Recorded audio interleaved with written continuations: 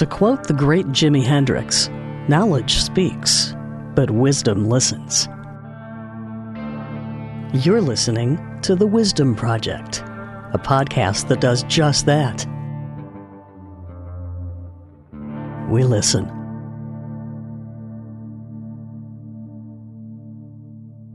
My name is Doug Boyd, Director of the Louie B. Nunn Center for Oral History in the University of Kentucky Libraries. The Wisdom Project is a podcast that uses oral history, the recording and preservation of interviews, with the purpose of documenting individual life stories. The Nunn Center has been recording and archiving oral history since 1973. Speaking of the archive, I want to introduce you to Kopana Terry. She's the one who will be co hosting and co producing this podcast with me. I'm Kopana. I'm the oral history archivist at the Nunn Center. The Wisdom Project will feature engaging stories from the Oral History Archive. We get to listen to these stories, and this podcast gives you a chance to listen as well. Now, I may be biased, but I believe the recording and preservation of oral history can make this world a better place. We need more listening. Don't worry, we won't do a long introduction every time. Unless Doug changes his mind. Now, on to episode number one of The Wisdom Project. In 1952, a 23 year old Jacqueline Bouvier, graduate of George Washington University with a degree in French literature, met and fell in love with a young congressman, John F. Kennedy. When they were married the following year, few would realize this young couple would be at the center of a story that people would liken to Arthurian legend. More than likely, you know how the Kennedy story goes. But the reality is, there's still a lot of mystery to the Kennedys' years in the White House. Well, the Nunn Center has a rare 1981 interview with Jacqueline Kennedy Onassis. The interview was conducted as part of the John Sherman Cooper Oral History Project. John Sherman Cooper was a former county judge, senator from Kentucky at the same time as a young Jack Kennedy. Cooper was also an ambassador, but Cooper and his wife, Lorraine, were close personal friends with the Kennedys. I thought we'd begin by uh, asking uh, if you can recall some of your first impressions of uh, Judge Cooper. Perhaps how you first got to know he and Mrs. Cooper, and then what some of your first impressions were. I think I first got to know him maybe 52. Um, I can't remember whether no, I, I was married in 1953. I remember that he was. We used to go to Charlie Bartlett's for dinner, Mm. and Charlie Bartlett. So I was interested in Jack, and the Coopers were sort of going out together. Mhm. I mean, we'd have many pleasant evenings there, and Senator Gore was often there. Um, so I sort of saw him and Mrs. Cooper there a lot, and that's where you became friends. We were always just about the six of us, maybe eight. Mm-hmm. Um, I don't think my first impression is the same as my pre- present impression is. you know, his wisdom, his humor, that well, I just love. I mean, I, he's such a fine, fine man, and over the years, you you know, in the Senate, at least with Jack, maybe who was running around the country so much campaigning, there are not many that there are not that many senators who get to be your private friends as a couple. Right. That is. Uh, Well, he was one of them. Um, and he remained one. You see, Mrs. Cooper had been a friend of mine before. She used to ask me to dinner parties when I was still either in my last year in college in Washington or the year or so I worked on the newspaper. mhm. Um, I know it was just about the same time. I mean, that we were sort of, you know, courting the same time, getting married at the same time. Yeah, you were sharing a lot of the same experiences. The interview was conducted by a 30 year old Terry Birdwhistell. Birdwhistell is one of the founders of the Nunn Center and currently the Dean of University of Kentucky Libraries. And it's not because he's my boss that I say, he's a pretty incredible interviewer. He's done nearly a thousand interviews for the Nunn Center over the past four decades. Now, it's pretty widely known that Jackie Kennedy was a fairly private person and wasn't doing many interviews at this time. In fact, if the focus of the interview that Birdwhistell was proposing had been on her or her time on the White House, she probably would not have agreed to have done the interview in the first place. But the focus was on her close personal friend, so she agreed. But this episode is not about the story of Jackie Kennedy or the story of John Sherman Cooper. The story is the interview itself.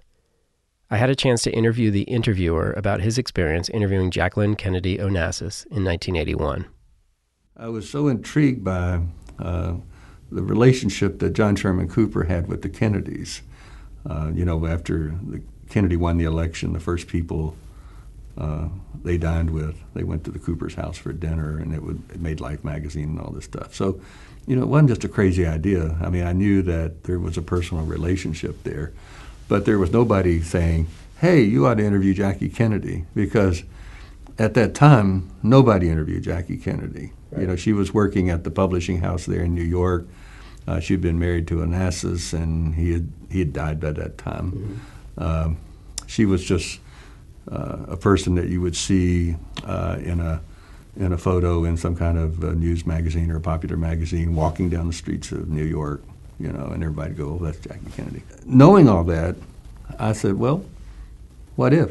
You know, I don't know uh, what prompted me really, but one day I was just sitting there and I just typed up this letter to Jackie Kennedy. Uh, I guess I knew she was at whatever the publishing house was. I forget. Uh, put it in the mail. Wow.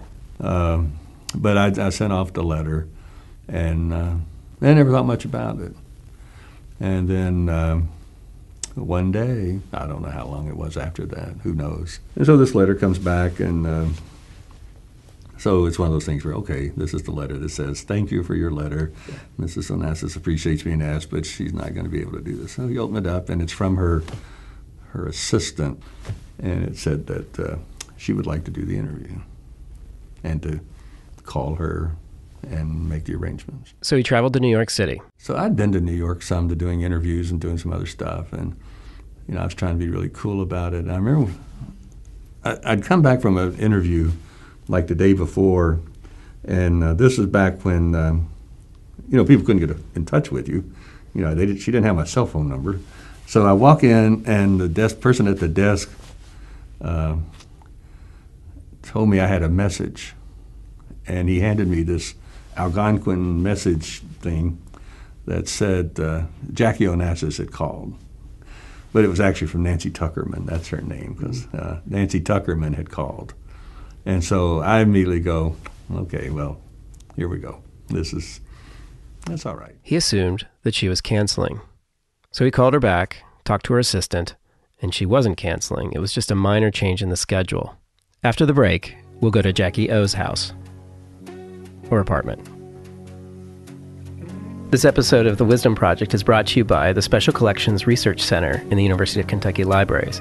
I have the Associate Dean for Special Collections, Deirdre Skaggs, here with me to tell us why is the Special Collections Research Center special?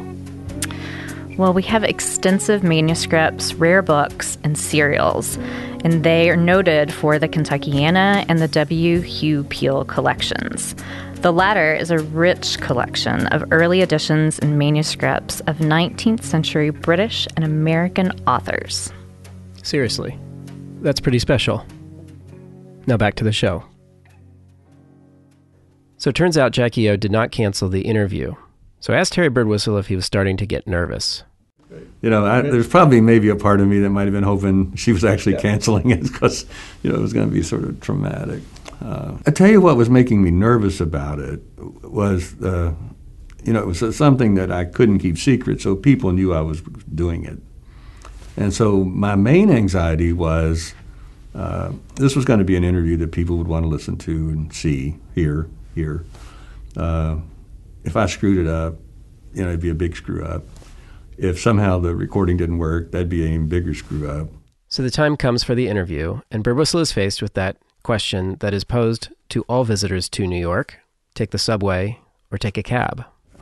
So I walked out of the hotel, and rather than catch a cab to go up to the interview, which would have made the most sense, I go to the subway and get in the subway and uh, and I think I know which stop to get out of, but it's really hot in the subway, and so I'm starting to get, you know, kind of disheveled, and because uh, I had hair then, and my hair was kind of getting wet, you know, it was really hot, and um, then I come up out of the subway, and like I always do in a large city when I come out of the subway, I didn't know, I couldn't figure out where I was and which way to go, and so I kind of walked around, and I was starting to get kind of aggravated myself with myself for saying, well, why'd you do this? You know, what, just trying to be cool or, or what? But anyway, I found my way to the right street, walked up to the door, and there's a, a doorman, of course.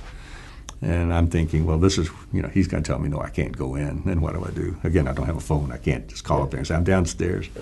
So I just walk in. He says, he opens the door, and I walk in.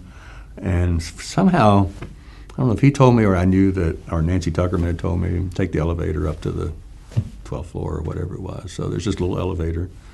Get in the elevator, go up. You get off the elevator, and there's a door right out, right across the hall from the elevator.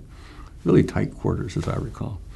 And knock on the door, and the door opens, and it's Jackie Kennedy Onassis opening the door, with her doorman standing right behind her, going, "Oh gosh." mm-hmm. But she wanted to. That's the way it was. I mean, this was a very personal thing for her. It wasn't like you know, a journalist coming to interview her. This was somebody coming to talk to her about her friend, John Sherman Cooper. And so it was from the moment she opened that door, it was personal. Mm. And so she says, uh, you know, we I introduced myself. And she says, well, you know, come in, come in. Probably asked me how long I'd been in New York or what I was doing or something like that. I don't know. But she led me into. Uh, we went through sort of a, a living room area into this room off of it, which was her her uh, library, which wasn't very big at all, and it had books, all the Kennedy books all around it, and uh, and a, a, coffee table and a couch. And so, uh, you know, she went in first, and she sat down on the couch, and then I had to sit on the couch beside her. It wasn't like where we, you know, right. where, where, we right. are here with you know two chairs, and uh, and so I'm trying to make small talk, you know, with Jackie Kennedy, you know, whatever that, whatever I said. I'm glad that wasn't recorded. Yeah. And um, and then the uh, the guy working there at her house brings in iced tea and little sandwiches, and you know, again, this is, you know, she had a visitor, a personal visitor. They're gonna, this is what we're gonna have. And I'm very conscious of uh, not taking up too much of her time or not imposing in any way or not taking advantage in any way. Have they given you a slot like a no. you have from? No. Uh, no, it's personal. Yeah. See, it wasn't an appointment. It was more like a visit. If you've ever done an oral history interview, you know that there is an awkward series of moments in the beginning when you're trying to get set up. You want to make small talk so you don't appear rude. At the same time, you need to pick the optimal location for the interview. At the same time, get your equipment set up which, if you have a lapel microphone like Birdwhistell was using back then, you would have to hook the lapel mic up and make sure that the levels were good, all the while still appearing to be calm, cool, and collected. But with oral history, the equipment really matters, so you got to get it right. But he'd done this hundreds of times before this, so piece of cake, right? Uh, and then at some point, we um, uh, it's obvious we got to get the interview started, and so I, you know, you got to get all your equipment out, you know, and get it set up. Um, I can't remember if I was using a, a charger or a, you know power battery pack or a battery or whether I plugged it in. I don't remember plugging it in because that meant I'd had to get on the floor. I don't remember getting on the floor and crawling around. Get the two mics and. Um, and I, I, always told people one of the, the, hardest thing, you know, of the interview was putting that mic on her. And so, I, it, you know, I just had to get my hand to stop shaking mm-hmm. to put it on, and we put it on. I mean, you know, I mean, this wasn't anything to her. I mean, she didn't. Right. Seeing a little tape recorder didn't make any difference to her. And I put mine on, and uh, this is where Murphy's Law kicked in. The most important interview, in some ways, I would ever do. In some ways, but um, so we start the interview I, I, you know, you've listened to the interview. I had some throwaway question, I'm sure, like, so how did you first meet John Sherman Cooper? What's your first memory of John Sherman Cooper? And she starts talking, and I was very comfortable at that time with this uh, recorder that we're using because you, you take an earpiece and then you put it up to your ear and you could actually hear what was being recorded. All right, the second tape head. Yeah, so that you were sure that you were getting this. Well, every interview I'd ever done that worked, except this one. So I put the thing up to my ear, nothing. And so she's talking. And, uh, and obviously I'm having a meltdown right there because she's talking. I'm trying to think what to do, what to do, what to do, what to do. Um, I stopped it, I rewind it, push play, listen through the earpiece, nothing. So I stop it, rewind it, take out the earpiece, hit play, and there it is. It was a short in the earpiece. Oh, Now, what are the chances? right. What are the chances? That's And and so I hit record again, and I said, "Okay, we're good to go." And she goes, "Is it working?"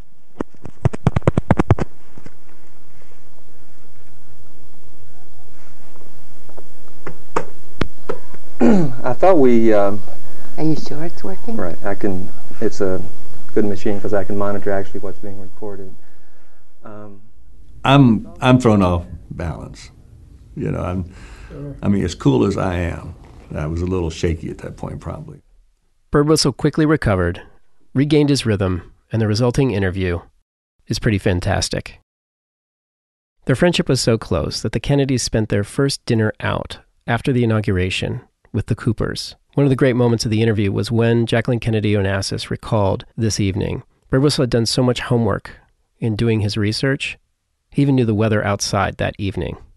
I know, to show you what good friends we were, I think I'm right in this. The first dinner party we went to after we were in the White House was at the Coopers. right, right, and that uh, that interested a lot of people. That uh, the first uh, dinner party would be at the home of, re- of a Republican.